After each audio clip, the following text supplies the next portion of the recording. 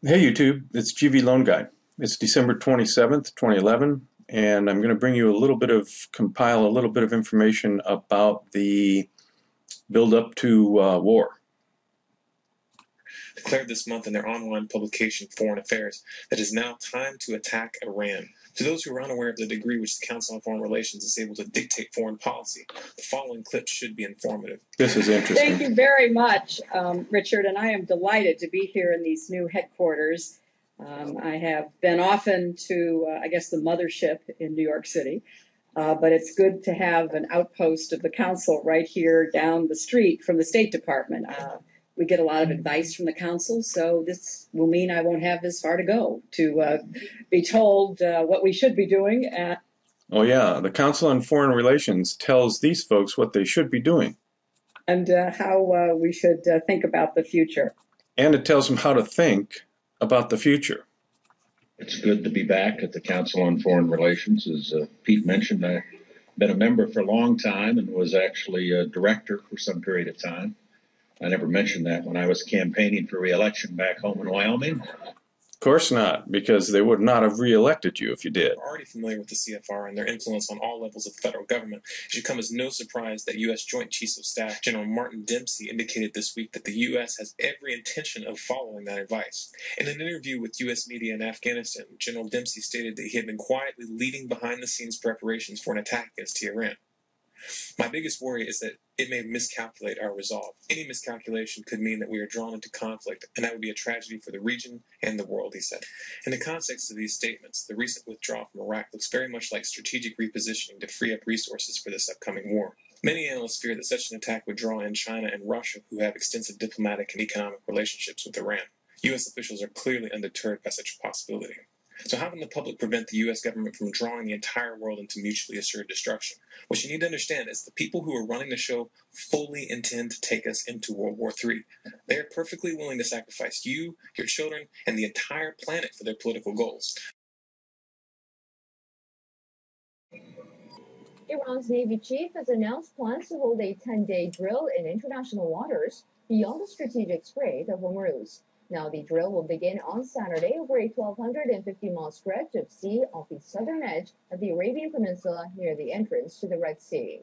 The exercise, bringing Iranian ships into close proximity with U.S. Navy vessels, is being seen as a latest show of strength by Iran in the face of mounting international criticism over its controversial nuclear program.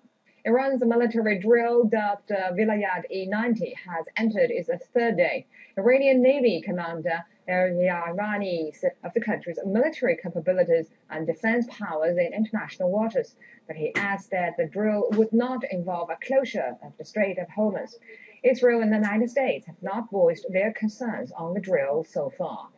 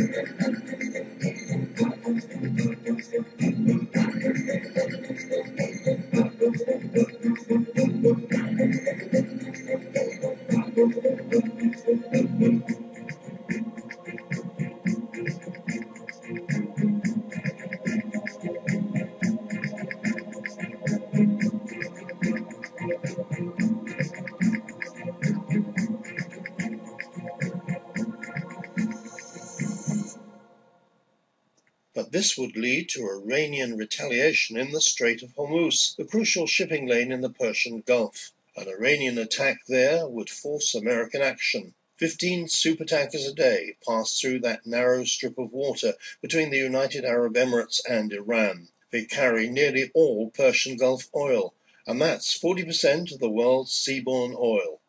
Pretty much any attempt by Iran to close the strait or interdict commercial maritime traffic almost necessitates an American military response. Though Iran has a broad spectrum of military options in the strait, there are significant complications both for Iran effectively employing these options and for the U.S. in containing and counteracting them. Fear regarding the security of maritime commerce in the Strait of Hormuz can quickly impact the global oil market. Current economic climate around the world, that's a serious threat in and of itself. Another of Iran's options would be to use its fast attack missile boats. These are said to be equipped with Chinese built C 802 anti ship missiles based on the US Harpoon and French Exocet designs. Used in a surprise strike, they could score some early hits. Overall, Stratfor's military assessment shows the Iranians have enough firepower to cause serious damage. But once hostilities got underway, the Americans would use their superior technological power to neutralize both the Iranian Navy and Air Force. Yeah, that may be the case, but in the meantime, our economy is going to be completely crashed and in the toilet because the oil is going to come to a screeching halt, and that's pretty much going to shut everything down here in this country. So they can have an effect on us immediately over there. There you go. So we're getting ready, folks. Getting ready for war.